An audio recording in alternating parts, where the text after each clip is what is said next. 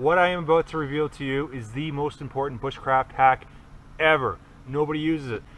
And I'm surprised nobody uses it because it's super simple and it makes your life a whole lot easier. Aptly called the throne. And again, like everything I build, really simple construction, just saplings held together with uh, these dovetail notches. They don't need to be tight. They just have to they just have to be able to support pressure.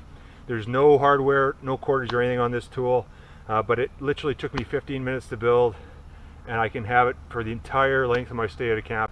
It's called the throne for a reason, right? It, it looks like a chair, it doubles as a chair, but it's actually a bushcraft toilet. And you know what? It's it's so simple to make. I can't I can't understand how any self-respecting bushcrafter doesn't go out, spend the 15 minutes they need to build this thing, and then use it every day. Because basically, it's one of those things where you can just use it, pick it up, move it to a different location, use it again, and there is value.